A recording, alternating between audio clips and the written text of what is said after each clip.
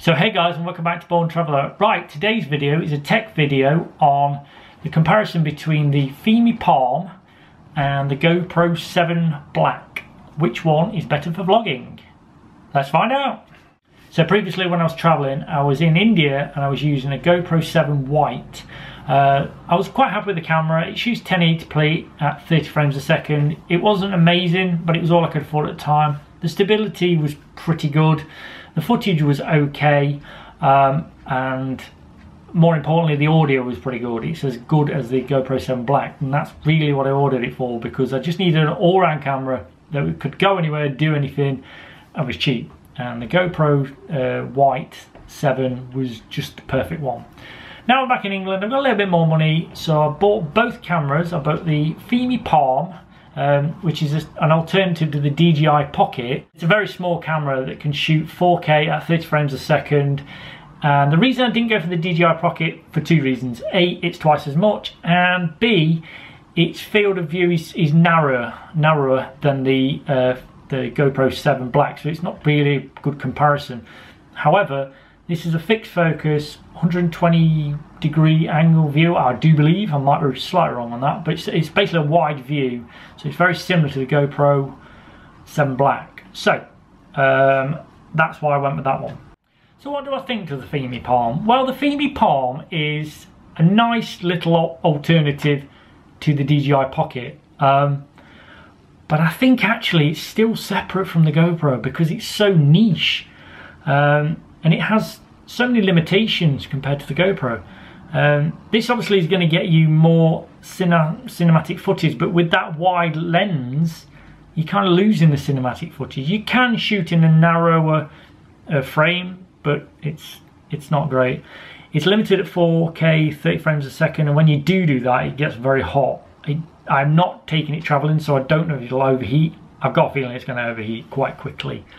Um, uh, battery life's to about two, two and a half hours. So the battery life's okay, but obviously it's a fixed battery, so that once the battery's dead, you can't replace it. Whereas the GoPro, you can always buy spare batteries and swap it out as you need.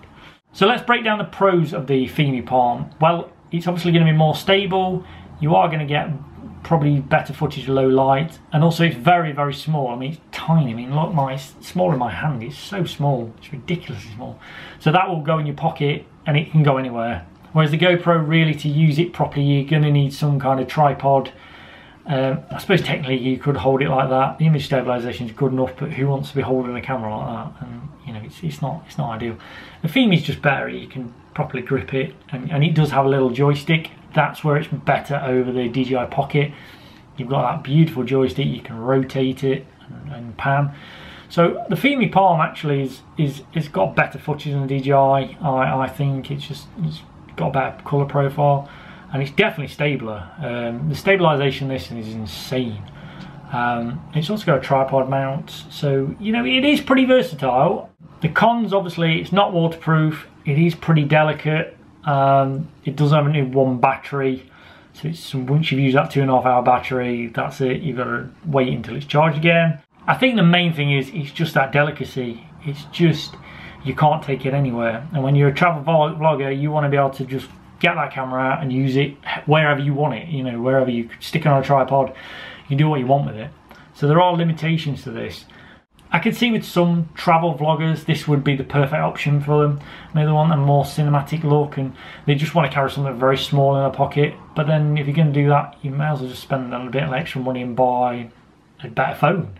Um, you know, you can always remember your phone does shoot uh, if you buy a good phone, it will shoot good good footage. So um, maybe this is just something else to carry, and I don't know. I just, for me, I don't see where I'd use it properly.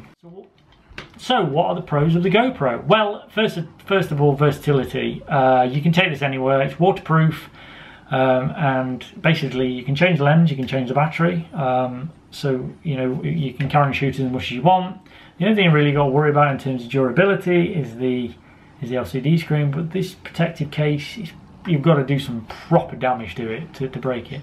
Um, you know, I've seen other videos where they've tried to break one of these things, and it, is breakable, but not that easy, especially for a travel vlogger. You really shouldn't be breaking one.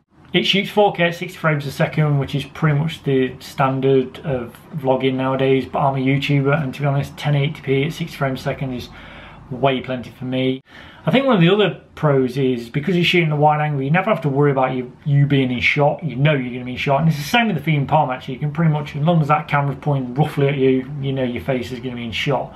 And I think that's that's another advantage. Disadvantages, well, I think they're pretty obvious. Um, it's fixed field of view, but then that's Fimi Palm has a fixed field of view. Um, and you know, it does have that GoPro colour. Not everybody likes that, but you can shoot in RAW on this, so it, you know it is pretty versatile. I think the main downside with both the Fimi and this is low light. Low light performance on both of these cameras is shockingly bad. Um, and obviously it's going to be worse on the GoPro because it's using electronic stabilization, whereas the, at least the Fimi is using a gimbal. So um, it's going to be slightly better, but they are looking at the footage that I've managed to pull off. It's absolutely shocking to be honest. So what is the main difference between these two cameras? Well, obviously the Fimi is using um, mainly uh, gimbal stabilization and the GoPro is using electronic stabilization. Believe it or not, actually, the stabilization is not that much different, but it depends on where you're using it as to how good it is. If you start using low light, I would say the Fimi probably is going to give you slightly better footage, whereas the GoPro because of that electronic stabilization is probably not going to be slightly as good but you know it is pretty close. The other main obvious difference is the GoPro you can take this anywhere. It's waterproof you can take it underwater. It's pretty durable and the lens is replaceable. You wouldn't really be caring about throwing it in your bag throwing it around. It's pretty I wouldn't say indestructible the LCD screen can get smashed but you could attach it to your helmet. It's very very versatile so one of the other main differences between these two, probably one of the main, is audio. The audio off this GoPro is fantastic. You can use this without an external microphone and to be honest I'm quite happy with the audio. You don't need uh, the external mic, although you can attach one if you want to, but it is a bit of a pain in the ass and it eliminates your waterproofing. The Fimi on the other hand, oh my god, bad.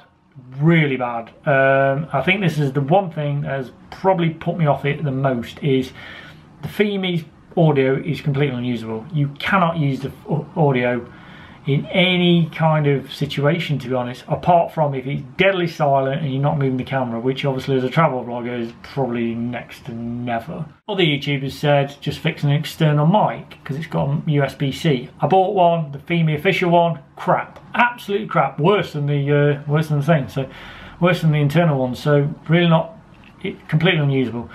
So that would be my main reason for not buying the Fimi. Uh, unless you're gonna you be doing the audio separate, like narrating, it's it's just not it's just not it's just not a, an option really. It's a shame because it's a lovely camera, but the audio is terrible.